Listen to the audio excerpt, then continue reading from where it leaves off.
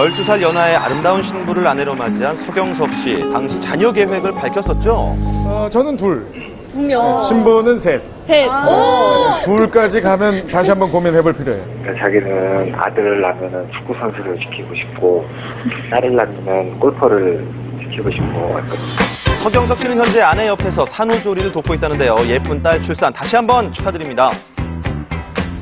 여러분들 실망시켜드리지 않도록 잘 살겠습니다. 또 하나의 기쁜 소식입니다. 배우 고수 씨가 예비 아빠가 됐다고 하네요. 올해 2월 11살 연하의 연인과 갑작스레 웨딩 마치를 올린 고수 씨. 비공개로 열린 결혼식에는 톱스타들이 총 출동해 고수 씨의 결혼을 축하했었죠.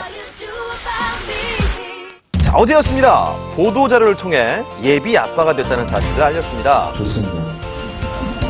결혼하신 지 1년 정도 되셨는데 내년 봄쯤에 아빠가 되신다는 좋은 소식. 영화 촬영에 매진하던 중이었는데 임신하셨다는 소식 듣고 되게 기뻐하신 걸로 알고 있어요. 몸조리에도 각별히 신경 쓰면서 행복해 하시고 계신 걸로. 산모분하고 뱃속의 아기는 모두 다 건강하신 상태. 예, 그렇습니다. 고수 씨 예비 아빠 되신 거 진심으로 축하드립니다. 이상 이번 주 연예가 핫클릭이었습니다.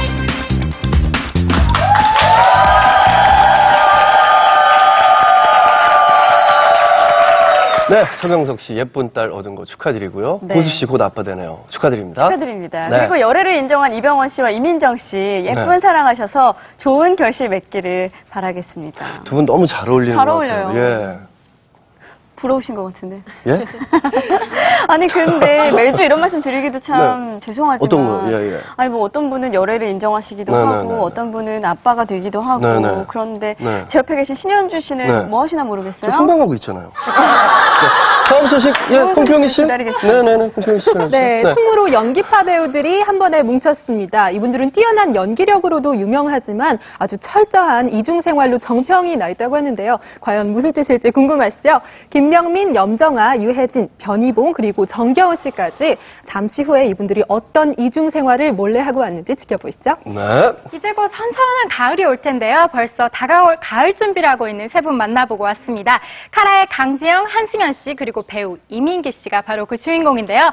이민기 씨가 카라를 위해 준비한 센스 있는 깜짝 선물까지 참 즐거운 화보 촬영 현장이었습니다. 잠시 후에 함께 가보시죠. 네, 매주 한 남자를 고소하는 여자와 매주 고소당하는 남자가 있습니다.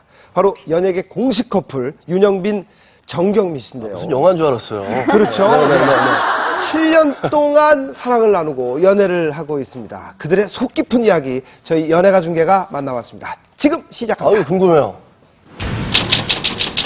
여의도 모 경찰서입니다. 모 경찰서.